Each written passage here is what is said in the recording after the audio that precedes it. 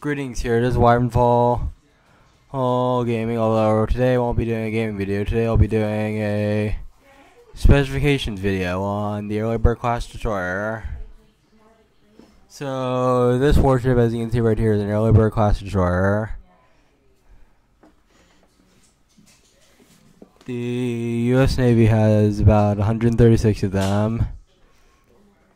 And it looks like that. It has a 155 millimeter Navy gun, a 96 cell vertical launch system, aimfire, aimfire per cell, four Tomahawk cruise missiles,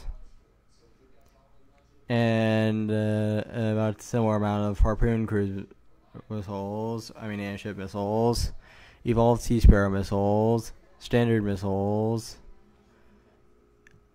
and ASROC missiles. Standard missiles can destroy aircraft and some destroy ships at long range. ASROC missiles are meant to destroy submarines and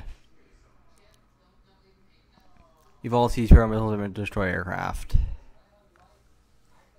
As you can tell, it is quite an effective ship used by the United States Armed Forces, and there's two helicopters you can carry,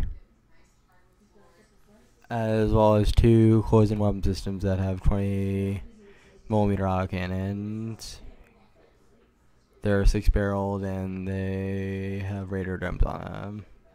Also, it has a ballistic missile defense system capable of firing a ton of of of Aegis missiles that can intercept ballistic missiles. Four per cell. And it can carry a laser weapon on the newer ships at least.